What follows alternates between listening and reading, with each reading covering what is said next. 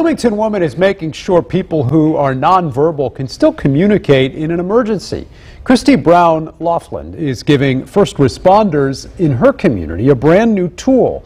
It's called a communication board. Fox 59's Lindsay Eaton shows us how it works and the reason behind it. It's just about, you know, helping people in our community. That's it. Earlier this year in Christy Brown Laughlin's neighborhood, a little boy with autism wandered away from his home and a Bloomington utility worker found him. He was nonverbal. And so the city worker called the police, the police came, and I just happened to look out the window. She saw the worker and police struggling to get information from the boys so they could get him back home. After seeing that situation unfold, Christy knew there had to be a better way. If it can just help one citizen who has difficulty communicating, then to me, that's a success. Christy teamed up with a local nonprofit sorority to buy 200 of these communication boards for police officers, firefighters, and EMTs. The boards are kept in their emergency vehicles. If the first responder goes out on a call and there's someone who's nonverbal, this board can help break that barrier. I really think it could be a useful tool.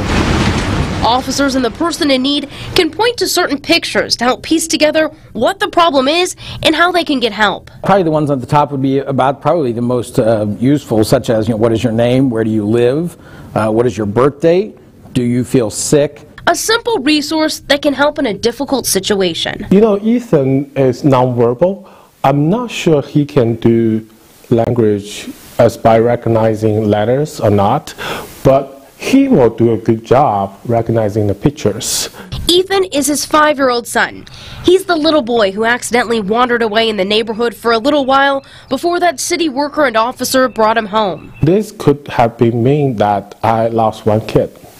So it's really, really great for me. These neighbors now share a connection and a passion for making sure in an emergency everyone has a way to be heard. It's important that people be able to feel safe in Bloomington, Lindsay Eaton, Fox 59 News. Lindsay, thank you. So far, these communication boards are with the police and fire departments in Bloomington and Monroe County.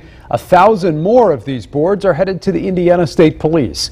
The goal is for every first responder in the state to have one.